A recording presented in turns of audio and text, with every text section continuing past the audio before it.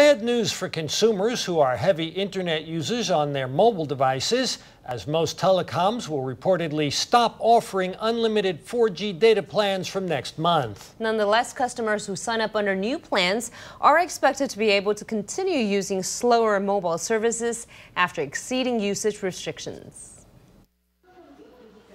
As customers flood into telecom shops to buy the latest iPhone, many are pairing it with unlimited use 4G data plans. But according to Taiwan Mobile, these deals will soon be a thing of the past. Telecoms are using unlimited data plans to attract so called early bird consumers. Most will end these plans at the end of October. New plans will be partially unlimited. Other operators that will pull unlimited data offers include FarEasTone, Chunghwa Telecom, and T-Star. They fear that overuse will lead to losses. It doesn't make any sense. Why should there be limits? Those suffering the biggest losses are us, the members of the general public. There are already about 1.2 million 4G users in Taiwan.